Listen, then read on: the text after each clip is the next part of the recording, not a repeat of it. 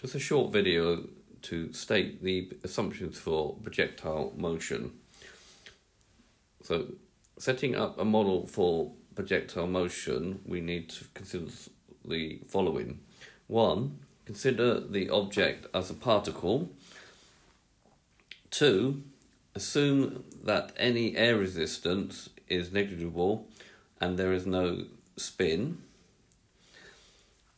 assume that nothing impedes the motion of the object and that its motion is in a vertical plane.